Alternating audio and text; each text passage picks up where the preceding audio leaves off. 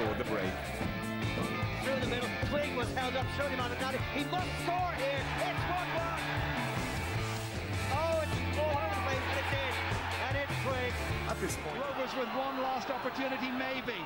Dennehy back in, headed in there by Oman, and headed into the back of the net, and they're level.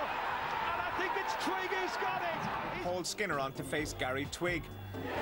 The delay between the foul and the kick didn't phase Twigg one bit as he notched his fourth. what he's just done there. Beautiful touch, open up the body. Absolutely. and picked up Finn again inside the area.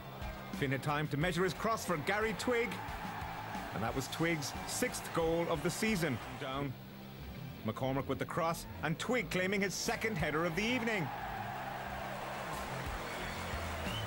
And completed his first Tallaght hat trick on 87 minutes. A quick 1 2 with McCabe, and a classic Twiggy finish. was the supplier for Twigg, and this time he beat Quigley with a low shot.